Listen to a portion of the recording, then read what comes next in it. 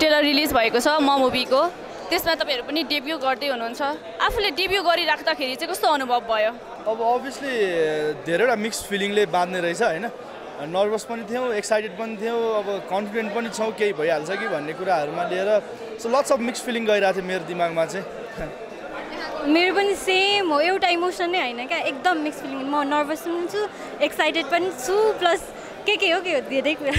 सानो छँदा मैले नेपाली फिल्म जुन पहिलो हेरेको मैले सरोज दाईलाई नै मैले स्क्रिनमा देखेको र आज उहाँसँगै नै स्क्रिन सेयर गर्न पाउँदाखेरि म अत्यन्तै खुसी छु। त्योभन्दा खुसीको कुरा मेरो लागि के हुन्छ?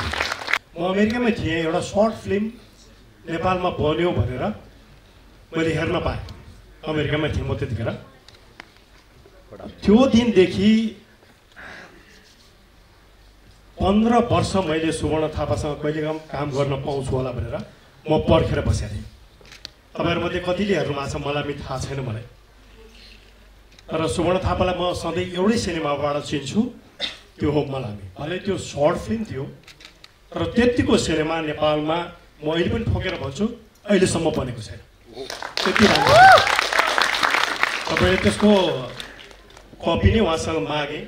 उहाँले पठाइ पनि दिनुभयो विश्वासको आधारमा घरमा बसेर मैले धेरैचोटि हेरेँ। बाफ्रे नेपालमा अब म त एक हिसाबले फिल्म इन्डस्ट्रीबाट टाढा गइसकेको थिएँ। नेपालमा यस्तो फिल्म बन्न थाल्यो अब फर्किनुपर्छ। अब नेपाली फिल्ममा काम गर्न मजा आउँछ। त्यस्तै मजा मलाई ममा पनि भएको छ। Kantipur film academy especially Prakashji thank you उहाँले बनाउनु भयो एउटा सिनेमा बनाउनु लाग्छु मलाई हेल्प गर्नुहोस् भन्नुभयो। मैले हुन्छ भनेर काम गरेँ।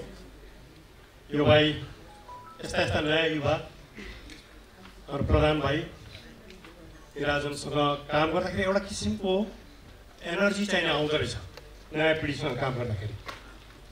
किनभने उहाँहरूले एक किसिमको सोच हामीप्रति बनाएको हुनुहुन्छ र त्यो सोचलाई भत्काउँदै सहज हुँदै काम गर्न अझै मजा आउँदछ निराजनले भन्नुभयो नि अघि मैले पहिलोचोटि मैले तपाईँको फिल्म हेरेको भनेर।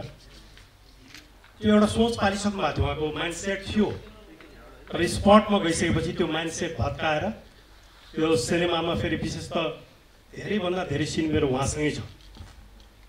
मजा आयो काम गर्न तपाईँहरू नयाँ जेनेरेसनसँग पनि। र होपफुली अझै हामी भविष्यमा अझै धेरै काम गर्छौँ। मैले पनि बिस्तारै त्यहाँबाट पछाडि आउने जमर्को गर्दैछु। कान्तिपुर फिल्म एकाडेमीले यत्रो ठुलो एउटा प्लेटफर्म क्रिएट गरिदिनु भयो त्यो न्यू आर्टिस्टहरूको लागि फ्युज गरेर र र आर्टिस्ट पनि हुनुहुन्छ अनि त्यसपछि एउटा एक्सपर्टिज भएको व्यक्तिहरू पनि इन्भल्भ हुनुहुन्छ। जस्तो अम्याच्योर र रको मिक्सचर जस्तो लाग्यो मलाई यो जुन हेर्दाखेरि मजा आउनेवाला छ। अनि जुन अपर्च्युनिटी आर्टिस्टहरूलाई दिनुभएको छ कान्तिपुर फिल्म एकाडेमीले त्यो चाहिँ एकदमै प्रशंसा गर्ने कुरा हो। यस्तो सितिमिति अरू फिल्म एकाडेमीबाट मैले देखाएको छैन। यो एकदम राम्रो कुरा हो। र एउटै कुरा भन्न चाहन्छु नआत्तिनु होला नमात्तिनु होला किनभने पढ्दाखेरि धेरै चिज गर्छु जस्तो पनि लाग्छ। र पर्दामा आइसकेपछि अब दर्शकहरूको रेस्पोन्स आउने टाइम हुन्छ। त्यो बेला चाहिँ धेरै चिज रियलाइज हुनसक्छ सो नआत्तिनु नमात्तिनु यसलाई एउटा जर्नीको रूपमा लिनु। म आशा गर्छु यो फिल्मले धेरै राम्रो तपाईँहरूलाई चाहिँ फल प्रदान गरोस्। दिग्गज हाम्रो सरोज खनालजीहरूसँग काम गर्ने अनुभव पाउनु भएको छ।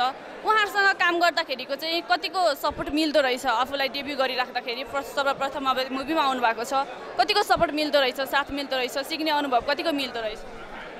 अब अभियसली उहाँहरू हामीभन्दा धेरै नै एक्सपिरियन्स्ड हुनुहुन्छ नि त होइन? हामीले चाहिँ केही हदसम्म सिकेर आएको छौँ। उहाँहरूले त सिकेर गरेर सिकाएर धेरै कुराहरू गरेर आइसक्नु भएको छ नि त। सो उहाँहरूको पर्सनालिटी चाहिँ एकदमै कम्फर्टेबल थियो क्या। नयाँ एक्टर यहाँ हुँ यताउता भन्दा पनि सिकाउने तरिकाले नै गर्नुहुन्थ्यो। हामीले पनि उहाँहरूको एक्सपिरियन्सबाट धेरै कुराहरू सिक्यौँ। अब हामीमा चाहिँ जोस हुन्छ। उहाँहरूमा त्यही कुरा लिएर होस हुन्छ। अनि हाम्रो जोस उहाँहरूको होस यो दुइटै कुराहरू मिलेर चाहिँ खै राम्रै चिज आएको छ जस्तो फिल भइरहेछ हेरौँ। अब पछि रिजल्ट चाहिँ अब अडियन्सले के भन्नुहुन्छ? हेर्दै आएको केही सिनेमाहरूभन्दा फरक सिनेमा अवश्य बनाउनुहुन्छ त्यो हजुरको लागि जति डर छ त्योभन्दा बढी डर मलाई छ। त्यो हिसाबले सिनेमाप्रति म विश्वास गर्छु र कलाकार साथीहरूको पनि अहिले कता कता हाम्रो मिडियालाई पनि त्यो त्यस्तो भयङ्कर ठुलो फिस पनि होइन। अनि त्यो एकदम तलको नयाँ सबै नयाँ पनि होइन त्यो बिच बिचको फिल्मलाई आएको बिच बिचकै तरिकाले गएको जस्तो देखिन्छ। तर सिनेमा जब तपाईँहरूलाई हामीले फिल्ममा बोलाउँछौँ त्यहाँ पछाडि तारिफ गर्नु जस्तो मलाई लाग्छ। हामी सबैले चलचित्रप्रति चाहिँ हामीले विश्वास गरेका छौँ त्यही हामीले त्यसमा कुनै डाउट छैन।